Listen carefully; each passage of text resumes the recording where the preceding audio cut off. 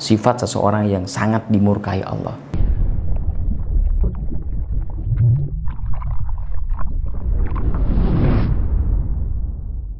Assalamualaikum warahmatullahi wabarakatuh. Uh, saudaraku, sering kita mendengar ya ayat Al-Quran dan lain sebagainya tentang sifat seseorang yang sangat dimurkai Allah. Yang tidak boleh siapa pun untuk memiliki sifat ini. Hanya Allah yang boleh punya sifat satu ini. Apa itu? Sombong. Kesombongan, keangkuhan betul-betul dibenci oleh Allah. Hanya Allah saja yang boleh sombong karena Allah Tuhan yang Maha Kuasa. Selain Allah tidak boleh. Disebutkan dalam Al-Qur'an.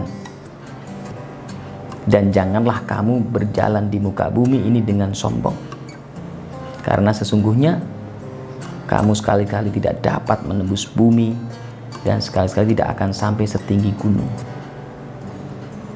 Al-Isra. Dan janganlah kamu memalingkan mukamu dari manusia yang lain karena sombong. Ya, cuek.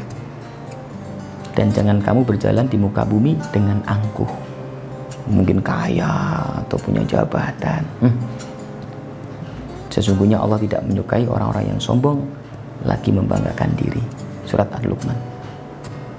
Jadi apa yang mau disombongkan?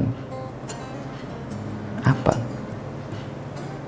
Kalau kita hebat, kita bisa menghentikan kematian. Faktanya manusia pasti semuanya akan mati.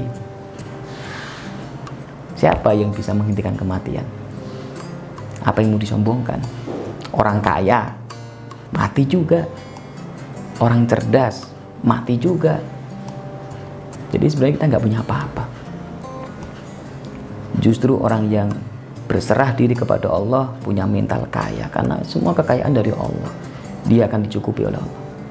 Tapi kalau dia sombong, justru itu akan miskin. Miskin ruhnya, miskin jiwanya, miskin pikirannya, bahkan susah.